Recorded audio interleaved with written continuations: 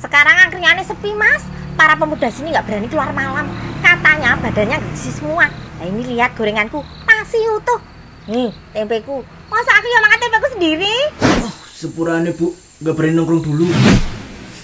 Di luar dingin banget mas, nggak kuat aku. Yang lain gregesi kok ibu enggak? Mau tahu rahasianya? Nih, minyak kayu pun dragon menghangatkan badan biar gak takut di dunia. Ya